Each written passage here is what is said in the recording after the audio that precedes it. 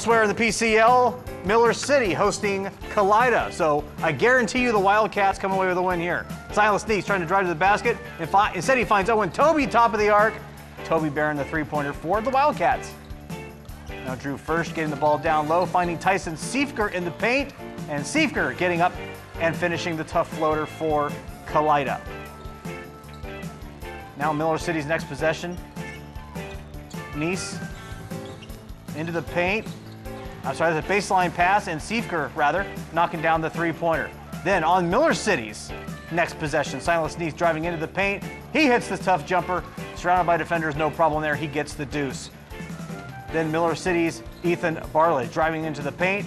Thinks he has a layup. He drives in, but Drew First is there, says, no, sir! Knocks that one down. Kalida with the win tonight, 49 to 36. Siefker with 18 points. EJ Miller chipping in 10. Austin Rue pacing Miller City with 12 points.